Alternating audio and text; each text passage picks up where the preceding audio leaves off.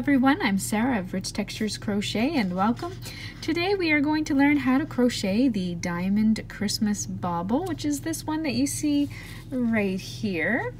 Uh, I have made this bauble with a worsted weight yarn. I am using Heartland by Lion Brand uh, in the colors of Hot Springs and uh, also Acadia. Now for the one here that you see in front, it has a little bit more of a golden tint to it. I use the color The Great Sand Dunes, also the Heartland um, yarn by Lion Brand.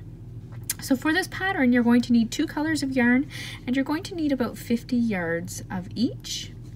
You are also going to need a plastic uh, DIY bauble if you would like, or uh, perhaps an old one that you'd like to kind of upcycle. I will also include instructions uh, in the written pattern and briefly in this video on how to complete the bauble if you would like to use a little bit of fiber fill instead of crocheting around the bauble. You're also going to need a 4 millimeter crochet hook and then a stitch marker, and of course a yarn needle and a pair of scissors for finishing off your work. The free written pattern can be found on my blog at richtexturescrochet.com and I'll provide the link in the notes for this video uh, there for you. For the pattern, it will be helpful for you to have a copy of this color chart. Um, the color work is uh, completed by using this chart. It's not written out step by steps, but I'm going to show you in the video how to read it. So head on over to my blog. You can either uh, save it and print it from there, or you can purchase and download the PDF copy, which will also include the chart there for you. And that is all you're going to need. And uh, once again, thank you so much for joining me. And uh, I invite you to subscribe to my YouTube channel. While you're here, it is updated weekly. So thank you so much. I'm going to grab my hook and my yarn and we will get started crocheting this diamond bauble together. If you are interested, this is bauble number five in a set of seven that I am working on. Uh, numbers one to four can currently be found on my blog and in my YouTube channel under the Christmas Patterns playlist. And uh, baubles number six and seven will be coming out shortly. So today we are going to start first by making a magic ring. Now if you would rather not make a magic ring, you may start by chaining four, and then working in this, uh, joining with the slip stitch in the first chain to make your ring. Once you have your ring completed, you're going to start by round one by chaining one and then work six single crochet stitches into the center of that ring.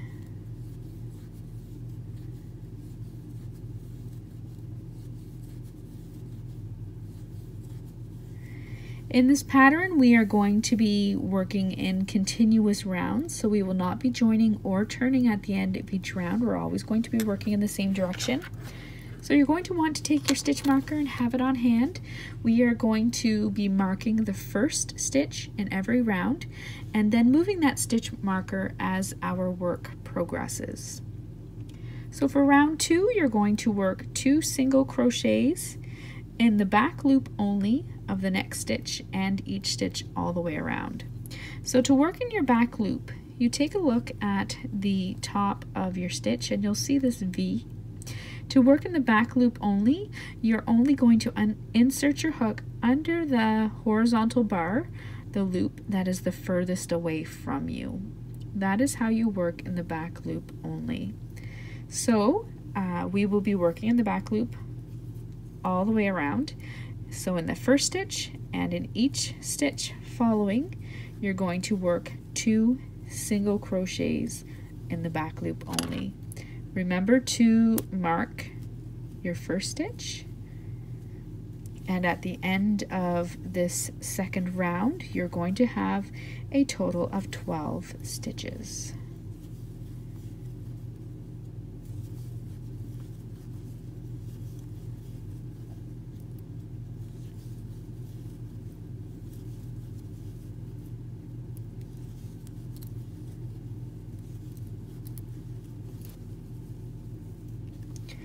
For round three, you are going to work in the back loop only, two single crochets in that first stitch.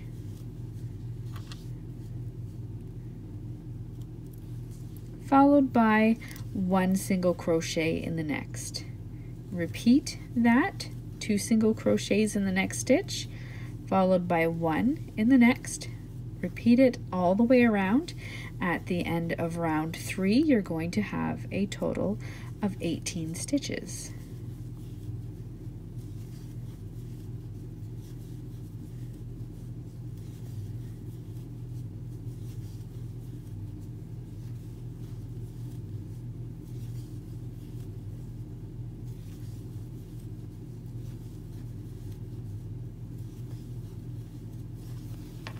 For round four. We're continuing our increase round, so you'll notice that your work is getting progressively larger. So for round four, we're going to work two single crochets in the first stitch in the next stitch, followed by one single crochet in each of the next two stitches.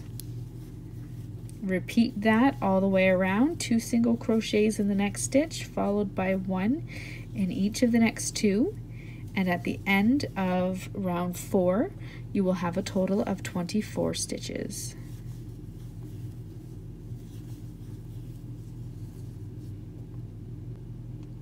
For round five, working in the back loop only, you're going to work two single crochets in the next stitch, followed by one single crochet in each of the next three stitches. You're going to repeat that all the way around. And then at the end of round five, you will have a total of 30 stitches.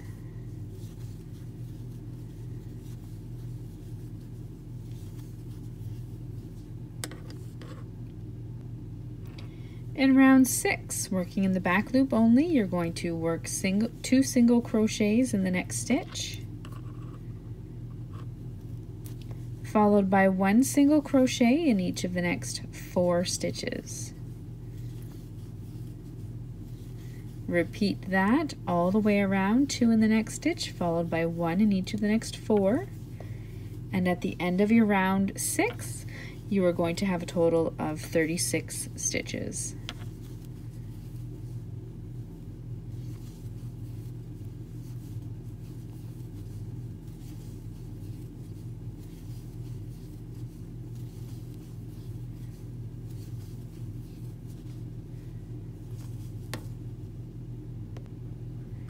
In round seven, working in the back loop only, you're going to work two single crochets in the next stitch, followed by one single crochet in each of the next five.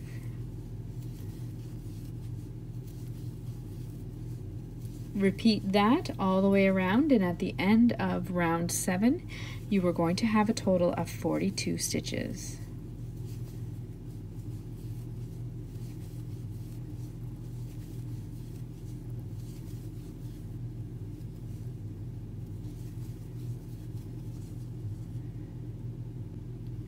For round eight, you're going to work two single crochets in the next stitch in the back loop only, followed by one single crochet in each of the next six stitches.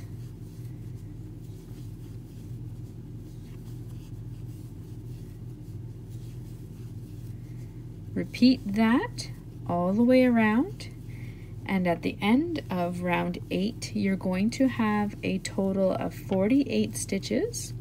And this marks the end of our increase rounds. You'll now want to, or when you're finished that round, you'll want to take out your chart and get ready to work some of that color work. So now for round rounds 9 through to 19, we are going to start following our chart. Now how we follow our chart is if we take a look at it here, each square equals one single crochet stitch. So there are a total of 48 columns because there are 48 stitches in a round. And then I have 10 rows here uh, because we're going to be doing our 10 rows of color work. Now for me on my chart, my white squares are going to equal my color A and my red squares are going to equal my color B. I'm always going to be working in the same direction. So for me, I'm right-handed. I'm always going to be reading right to left. And uh, at the end of each round, because I'm always working in the same direction, I'm going to come back to the right and start on round two, read across, come back round three, and read across. So for instance, on my chart, I'm going to start down here and block 1, 1, and I'm going to start with my color A and I'm going to work three single crochet stitches in my color A. Then I'm going to work one in B, three in A, one in B, three in A, and so forth all the way across. I'm going to work with you uh, just a couple of rounds just to show you how I change color in the midst of my work so that uh, my work is seamless and kept fairly neat and tidy. So we're going to do that now.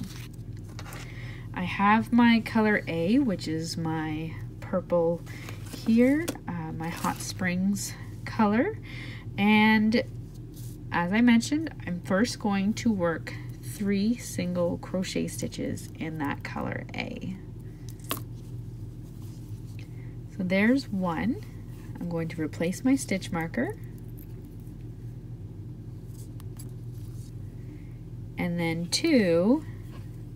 And now in my third, because I know I'm going to want to switch to color A for the fourth, or for color B for the fourth switch, uh, for the fourth stitch, sorry, I'm going to insert my hook, I'm going to yarn over and draw up a loop, but I'm not going to finish the stitch in my color A. Because the next stitch is a color B, I'm simply going to drop my color A, I'm going to pick up my color B and place it on my hook, and then complete the stitch with the color B. So I'm now ready to work my next stitch in my color B.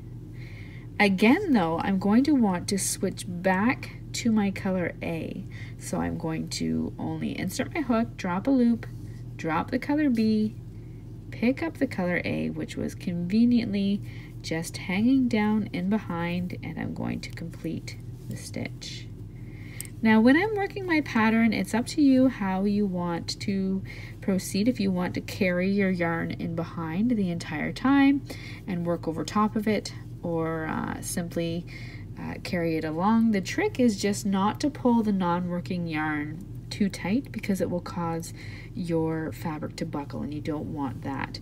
I like to work over top of it just because it keeps it all nice and neat and tidy. So I'm then going to work three stitches again in color A. So working over top and I'm pulling them just not too tight, just straight across. There's one, there's two and on my third stitch I want to switch back to my color B so I just let the color A drop pick it up and finish my stitch with my color B I'm now working with my color B I'm working over top of the yarn below the non-working yarn drop it and then pick up my color. So there are a lot of color changes and as you get going you're going to find that you will fall into a bit of a groove.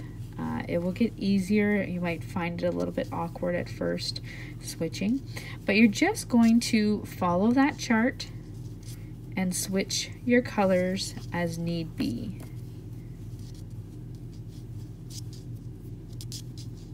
Just like so. So go ahead and complete the chart. We're working three stitches in our color A, followed by one stitch in color B, all the way around your bauble.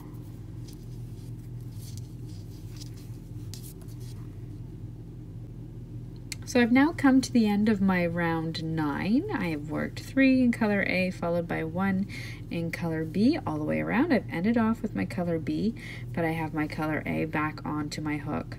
So I'm now going to look at my chart and I'm going to go back here to the right hand side to the beginning and I'm going to look at my next round. And my next round I have two in my color A, one in color B, one in color A, one in color B, followed by five in color A, and then it's going to start its repeat. So I'm going to start with my color A on my hook,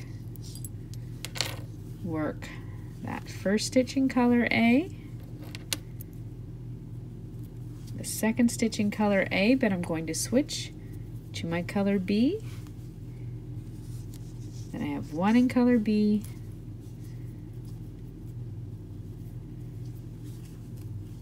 one in color A,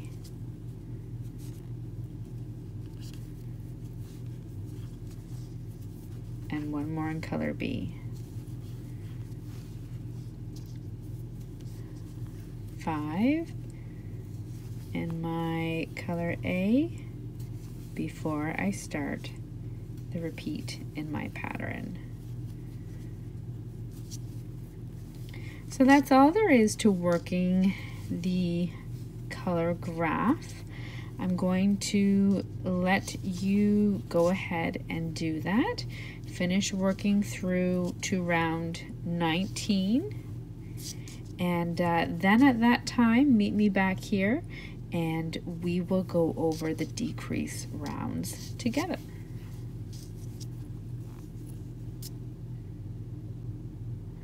I've now come to the end of round 19 and uh, when you do so you'll have something that looks a little bit like this hopefully. And uh, what you're going to do at this point is you're going to take your bauble if you're working around round one. If you are not working around one I would wait a little bit longer before you stuff it um, just to uh, make it a little bit easier for you. But if you're working around a bauble, go ahead and insert it now. This one is uh, has a 10 inch circumference on it. Okay, so you're going to go ahead and insert that, and then you're going to begin round 20. Round 20 is the start of our decrease rounds. So what you're going to do to start is a continue working in the back loop only. You're going to start by single crocheting two together. So insert your hook in the next stitch, yarn over and drop a loop. Insert your hook in the next, yarn over and drop another loop. With three loops on your hook, yarn over and draw through all three. That's your single crochet three together. And then you're going to work one single crochet in each of the next six stitches.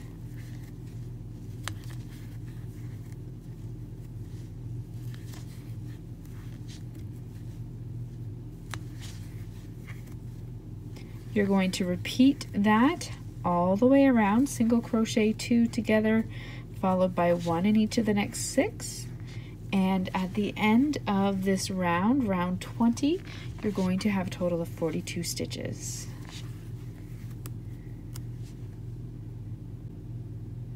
For round 21, continue working in the back loop only. You're going to single crochet two together,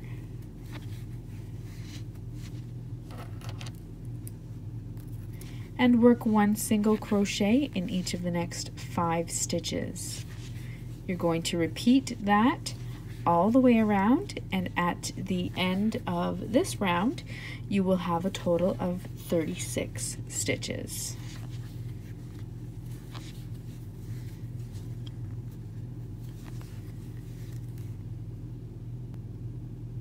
For round 22, you're going to single crochet two together over the next two stitches.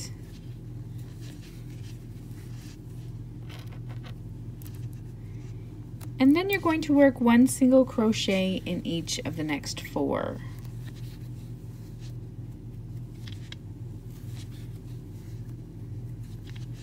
Repeat that all the way around and at the end of this round you're going to have a total of 30 stitches. For round 23, you're going to single crochet two together in the next two stitches, continuing to work in the back loop only, and you're going to work a single crochet in each of the next three stitches. Repeat that all the way around. And at the end of round 23, you're going to have a total of 24 stitches.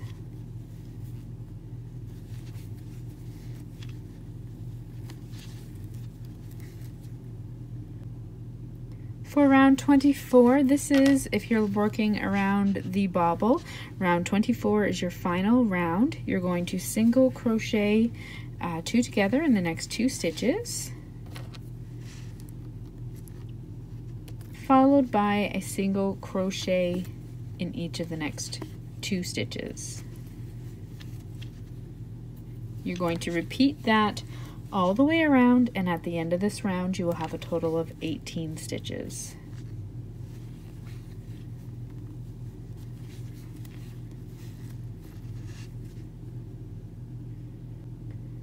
So now at the end of round 24, if you're working around the bauble, this is uh, your final round.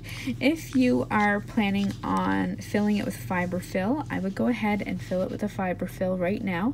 And then you're gonna work two more rounds of decreased stitches. So you're going to work another round, round 25, with a single crochet, two together, uh, and one in the next stitch, and then uh, a round of single crochet, two together. When you have completed that, you're going to remove your stitch marker and you're going to fasten off. You can just slip stitch into the next stitch in the back loop only and then fasten, fasten off your work. You're going to leave a little bit of a tail, just like so. If you're working around the bauble, you're going to want to shape it a little bit so that it is more rounded like so. You're then going to take your yarn needle and thread your yarn onto your yarn needle. Then what I did to close the top was I just simply wove in and out all the way around the top of my ornament, creating sort of like a little drawstring.